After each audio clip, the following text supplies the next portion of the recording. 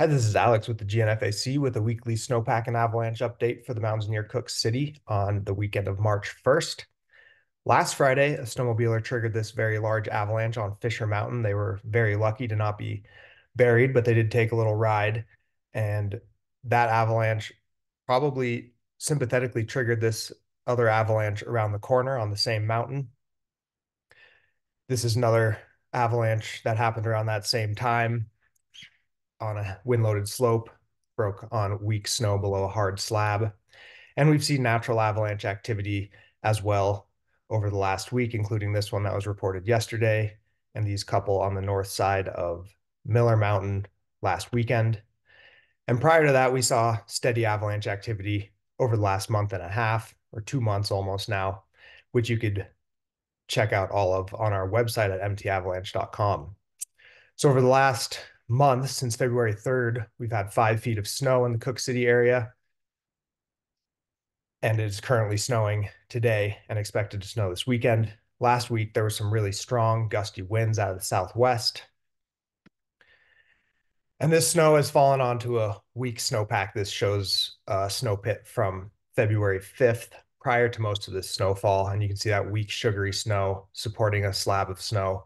And that slab is now many feet thicker. So it's snowing today, and we're expecting at least another foot, if not possibly two feet through tomorrow. Winds are going to be moderate and steady for the next during the snowfall out of the west to southwest with gusts of 35 miles per hour. So wind-loaded slopes will have thicker slabs and avalanches will be more likely on wind-loaded slopes.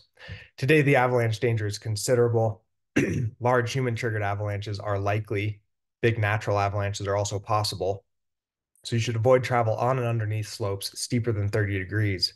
Because of the weak snowpack, avalanches can be triggered from flatter terrain below steep slopes. So be cautious of what is overhead.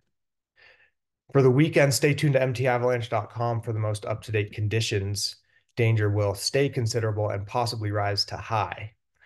So choose your routes carefully, plan to avoid avalanche terrain, make sure everyone in your gear, in your group carries rescue gear, which includes a beacon, shovel, and probe.